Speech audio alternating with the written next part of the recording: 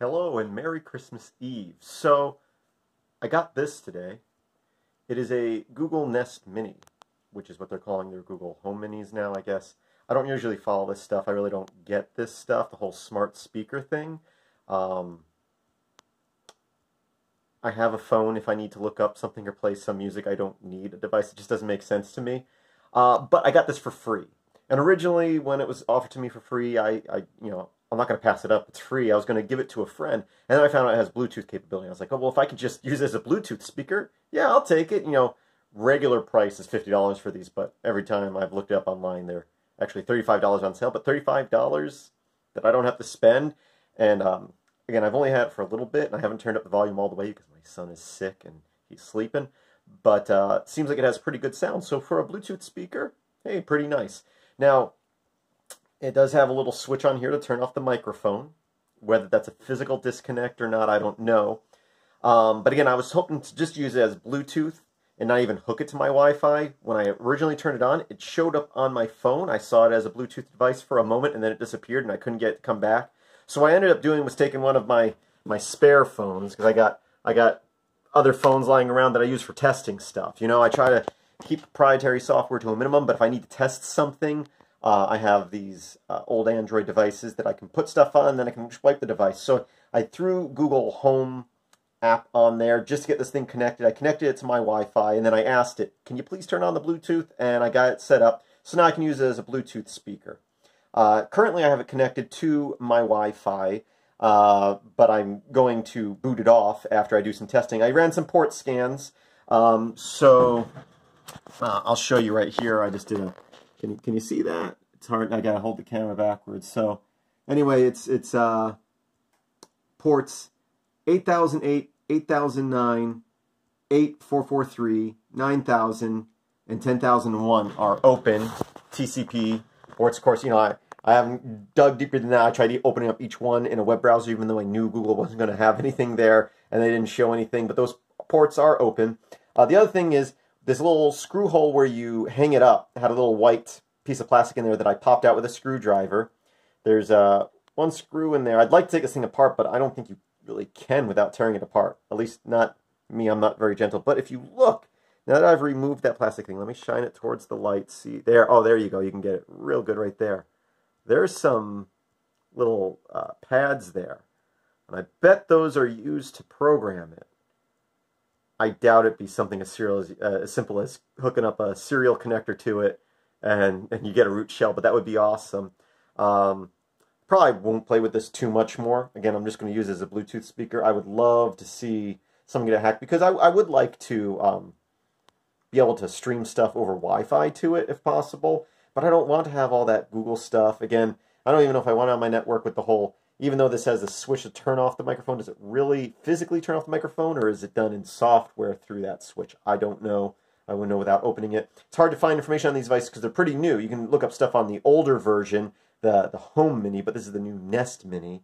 Uh, it's relatively new, so there's not a lot of information out there on there. So I thought I'd do this video to share some information with you guys. So again, I guess older models powered through USB, and some people didn't get very far from what I've looked, but you would be able to put it into a certain boot mode and it would at least show up as a device. Uh, but these ones don't even have that. It's it's just a regular round power because I guess these are louder, so they need more power than um, standard USB could put out. So I mean, the only way of hopes of getting to this thing would be again uh, connecting to it directly. Again, if we can get the lighting just right, right there. I, I those look so much like connector pads uh, so if you if you uh, are are good with that sort of thing, maybe you want to buy these and see what those do. You know, cheap devices. I like cheap devices because usually those you can get serial connections on. But Google's Google doesn't want you doing that. They're too smart to do that. They're not just gonna let you hook up through serial and reprogram it. It would be if they did, I would buy these. If I could get if this thing was running Linux and I can get a root shell on it with uh, just anything I can get Linux with a root shell on. Um, I can program it to do even at the simplest things. Um, I would buy these. I, uh, you know, for 35 bucks, if I needed a, a speaker, a wireless speaker, this would be a good deal for me. But since I can't, I'm not going to buy any more of these because it's I don't want to use your Google Home app. I don't want to use your YouTube apps. And I mean, just going through on that test device to get this hooked up, it's like, do you want to hook up Sling? Do you want to hook up Netflix? Do you want to hook up YouTube? No, no, I don't want to do any of that. I just want to get Bluetooth running on this. And I had to connect it to my Wi Fi to get it to do that. Now, maybe you don't have to. Again, I saw the Bluetooth device when I first turned it on, but then it disappeared. But again, it's hooked to my Wi Fi now. Um, and uh, to hook a new device to Bluetooth, I have to turn on the speaker and say pair new Bluetooth or something like that, and then it will allow me to pair something new. I don't know if it's going to require me to be hooked to a network to do that. I'm guessing maybe. So what I'm probably going to do is I'm probably going to go into my router settings and block this device. That way I can easily uh, go back into my router and re-enable it if I need to hook up a new Bluetooth device. It just seems like a very roundabout way, but again, it's all about control. That's why they want you to install their their their devices. They want you to install their apps on your phone so they control all. So I'm, I'm trying to avoid that, you know? I don't mind buying the hardware. I just wish the software was more usable without the whole, you know, I'm not even that concerned about the spying. I just want control over my own device. You want you want me to talk to it and it sends my voice up to your cloud and you hear what I'm saying.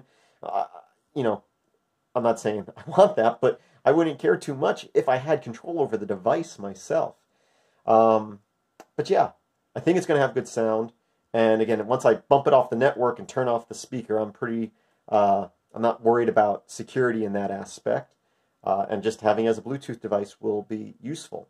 But I really, really would love to see somebody hack this and get some sort of, um, you know, open source software that can connect to it, or even just, just if I could physically plug something in here and reprogram it to open up a port that I could stream stuff to it from my desktop or even stream stuff from YouTube, but without using the YouTube app. I do that on my desktop all the time with YouTube DL and MPV. You know, I do stuff. I do that to my my uh, TV in the living room. I've got a Raspberry Pi running uh, Kodi, or yeah, it's called Kodi now, uh, and and I have it set up so I can just send an H. HTTP uh, request and give it a URL to a YouTube video and it will play it. And I do that all, you know, from my desktop or whatever device. I don't need to install anything specific. So anyway, just thought I'd talk about it for a minute. You know, again, there's open ports, but I, am betting that if I, even if I network scan them, I bet they're all encrypted. You know, I, am sure that when I first hooked it up, the uh, Google Home app probably swapped keys with it or something, or probably doesn't even connect directly to it. Probably goes through the cloud for everything. I don't know. I guess it might, in case you don't have a network, it might connect to it directly after it pairs through the internet. But um, yeah, Google Google Nest Mini, which is confusing because the Nest, I, I yeah, Home Mini made more sense to me. But again, these devices don't make sense to me in general. Again, I get a wireless speaker, but I don't need to talk to it. I don't need to ask it stuff. That's what my phone is for, and I always have my phone with me. But, eh. And one interesting thing, I do know somebody who has a few of the older models, and they said that they can be used as intercom systems in your house, which would be nice. It'd be cool to be able to do that. But again, I'm not going to install an app to do that. Uh, it'd be nice to just be able to have them connect directly to each other and do that, you know? Anyway, it is Christmas Eve. Again, my son's not feeling well. He's throwing up this morning, but I think he's doing a little bit better. He's napping now. So hopefully he feels better tomorrow, and hopefully the rest of us don't start throwing up tonight. And uh, yeah, Merry Christmas. And um, I already have like at least three more videos scheduled between now and the end of the year. And I also have videos coming up in January uh, on Android bootloader and partitioning and formatting coming up in January. And um, uh, while we're on devices made by big companies, again, uh, I briefly talked not too long ago about uh, Amazon Fire. Again, there's a device that you can get for a good price because they're expecting you to use all their services, and the tablet is a cheap tablet, but you can get them for 30 bucks if you look at the right times. And they're really, they're not great tablets, but they're really good for 30 bucks. And it's very easy to get root on them and clear out the device. And I have a video at the end of January coming up on that.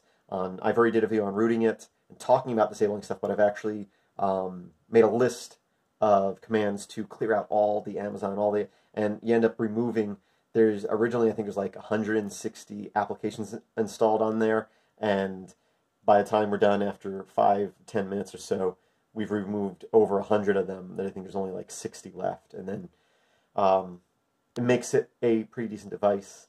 In fact, I got another one for my son that he's getting tomorrow for Christmas, so they both have one. And the most intense thing they do on those is going to be playing Minetest, and it runs fine on there. Uh, it, when I did a video on that previously, someone comments wrote, "Oh, you don't get yourself a real tablet." Well, again, it's for my the, the one I got for tomorrow is for my four year old son. He doesn't need something more than a thirty. If I'm spending more than thirty bucks, I'm not buying him a tablet, and it's more powerful once you clear out the software.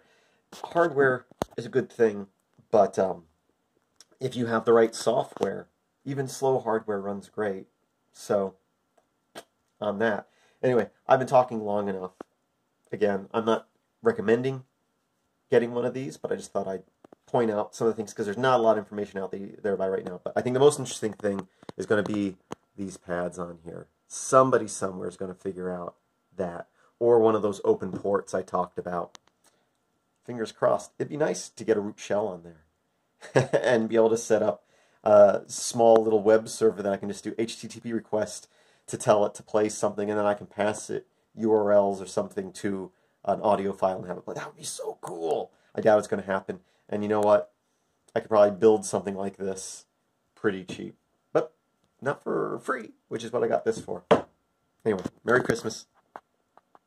Have a great day.